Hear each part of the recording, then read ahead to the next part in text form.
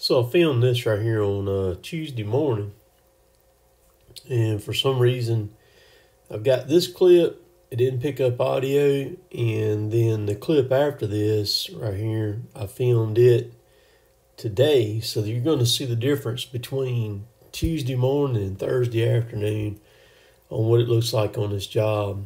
Uh, and neither one of them picked up audio, so I don't know. Sometimes it. Uh, it does it and sometimes it don't. Uh, i've done all kind of uh, searches and digging trying to figure out if it's uh, you know the rhyme or reason or anything like that i hadn't figured anything out about it. So anyhow so that leads us to a voiceover so uh, this week here on monday we got 25 loads tuesday we got 25 wednesday we got 25 and Thursday uh, was going to get uh, 26. But I have the last truck, or yeah, last truck, it slung the drive shaft out of it. One of the uh, U joints came out of it this afternoon when he was coming back to get it. So it put us at uh, getting just 25 today. I don't know if they found a drive shaft. He wasn't but just a few miles from from getting back to us, but you can you can see right here just kind of keep this in your mind the way this looks right here because you're going to see this same thing here in a little bit. But anyhow, the I I don't know if they found the drive shaft or not where it came out of that truck, and uh, so he wasn't about uh, four or five miles from us from being back. So I put us at 25 today, so we're um, at 100 for the week in four days. Uh, the pine pulpwood all we could haul pine pulpwood wise this week was four loads, and that was it. I mean, we're not getting no more. Matter of fact, paper mill ain't even taking tomorrow, or which is when I say tomorrow, it'll be today when y'all watching this. It'll be Friday. They're not even taking wood, but I had I hauled those four loads by Tuesday that they had uh that they had given us. So got them out of the way. You can see what the cut completely looks like right there in that shot right there.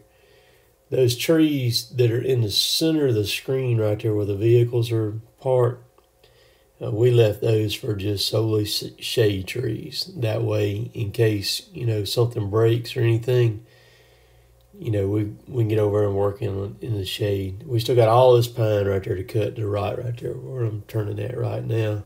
All right, so this is Thursday right here. and This is I filmed this Thursday afternoon. You can see all the pine pulpwood that's kind of in front of my loader right there. All that's a massive pile of pine pulpwood. We'll just have to haul it when we get a chance to haul it. I don't think it's going to be hauled in the next uh, two to three weeks. I think it's going to be slow on all that. And you can see what we've cut compared to the other video. If you want to flip it back, you can flip it back see the difference in what it looks like a couple of days later. We still got the trees right there for the shade where we left them at.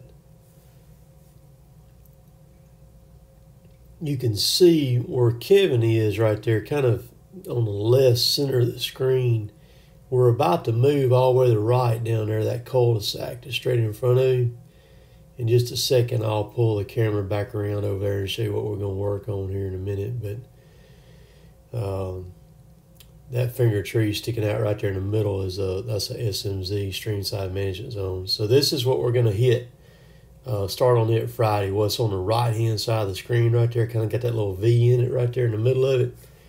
We're going to set it right there at the back of that cul-de-sac and go to town on cutting it. And you can see the rest of everything that we got left to cut straight ahead of us right there. You see right where the pine is right here way it looks right there. So that's what we'll be working on tomorrow while y'all are watching this video here. Once we get that cut, then we're going to go straight where the drone is flying and work all that pine right there too. Um, it's going to be interesting on the with the paper mill what ends up going on with, with them because they're about to go into shutdown mode, I think, for doing their normal shutdown and so uh it's gonna be really really slow you can see the pile here where I zoom in on it Everything on the left, and then there was piggyback right there. All that is pine pulpwood. What's on the right hand side on both sides of my loader is logs, and then what's right against the butt of my loader is some uh, poles, utility poles right there. They got poles, so it gives you a pretty good uh, idea right there what we what we got going on. So I'm gonna bring the drone in. I had to order me some more drone batteries for my drone. Uh, the batteries I've got is about a year and three months old now, and I had one start trying to swell up on me, and they getting where they wasn't really holding char holding charge like what they were to. So I uh, I went ahead and ordered two, and they came in today and got them situated. You see Derek killing the saw disc right there, and got them going. Them uh, DJI batteries are uh, they're pretty pricey too. The, I checked the charge cycle that I had on the one that started swelling, and it had uh, 40. I charged it 41 times, is what I had charged it before it was going bad. So I'm not real happy about that. So enjoy the rest of this video. We'll catch y'all later. I want to show y'all something here. I had the house wash yesterday.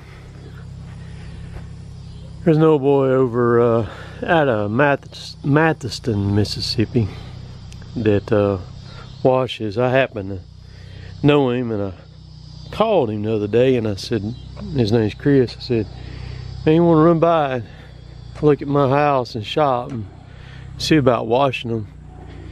I said, do you come, ever come to Columbus? He said, oh yeah, I come to Columbus all the time. And I said, all right, well, next time you're over here, I said, swing by. He said, okay. So he texted me yesterday morning and said he was gonna come by and give me a price on it. I was like, all right, that'll work. Want the concrete done and the sidewalk done and also my shop down there too wash. So uh, he he drove up here, uh, looked at it, texted me a price and I didn't realize he had his stuff with him to do it. I told him, I said, get after it. And man, he went to town on it. I mean, this concrete right here looks brand new. The shop down there looks fantastic too. I mean, it, uh, we, uh, see, Jill and I built this place 2002. We've been here 18 years now. And this is the first time it's been showing up wash this hardcore like this right here. But uh, that's what he does. And I'm gonna give him a, uh, I'm gonna give him a shout out. and uh, he didn't, uh, there wasn't anything exchanged on this or nothing. I like helping people who work hard. You know what I mean? It's like the Ellis's over there at Northport Power Equipment and just all the other stuff that I do from time to time, things that I show and help promote people. But this is Chris's business right there. It's Bulldog Pressure Washing Solutions. And it's uh, not spelled normal Bulldog. It's B-U-L-L-D-A-W-G you can find him on uh, Facebook here, his page right there. And that's what he does for a living, man. He washes his stuff. But I tell you though, I am uh, I was ecstatic with the job, man, when he got home when I got home yesterday. Uh, I still got some uh, I had some like this door over here. The reason why this door right here looks wider than this door is because this door is a lot newer than this door why is this door newer than this than this why is this door so much newer than this door?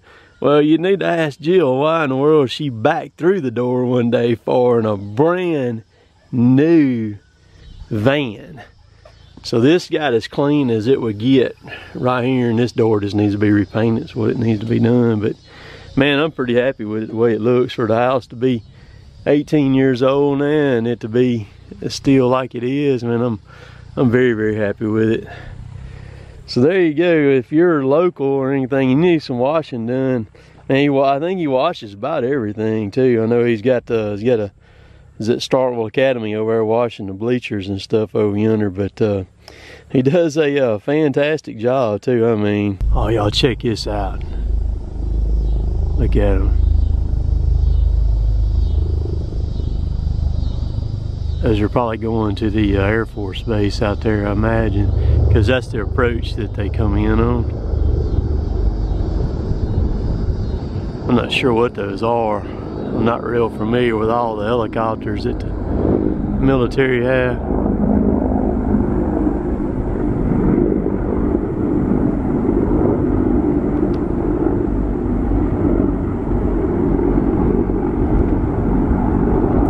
They probably stopping in for overnight, get fuel, and probably go somewhere else tomorrow. They have a lot of.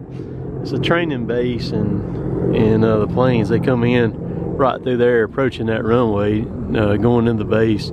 It's not very far over there, but uh,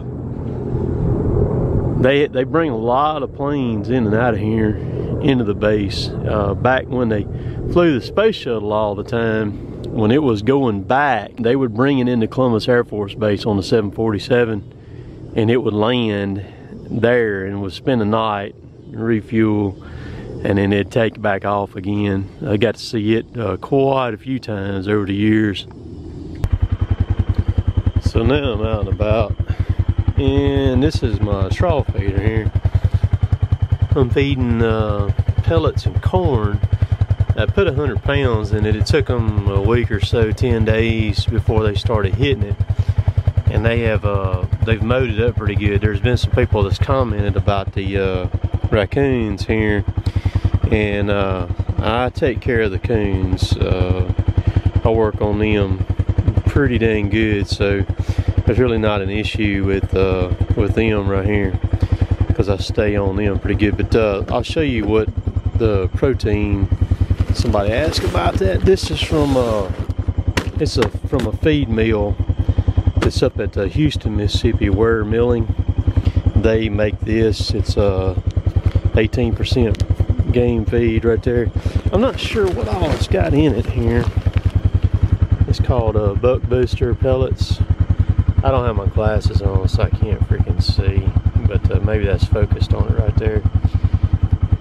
Uh, so that's what the pellets are that I'm currently feeding right there, and they're they're eating it well too.